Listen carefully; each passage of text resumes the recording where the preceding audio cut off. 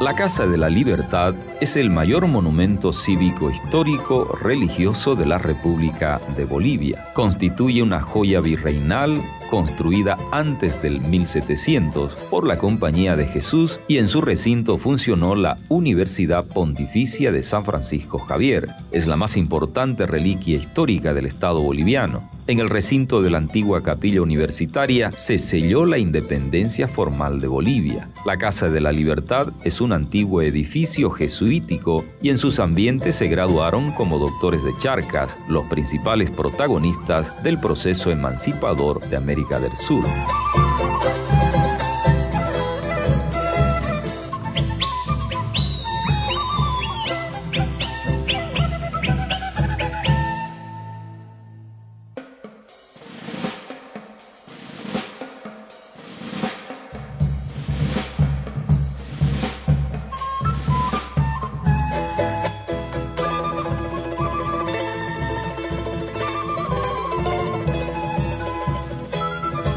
Lo que hoy es la Casa de la Libertad constituye el templo sagrado de la patria, es la Casa de la Bolivianidad. En ella se prendió la llama de la libertad, de la emancipación un 25 de mayo de 1809, llama que iluminó todo el continente americano.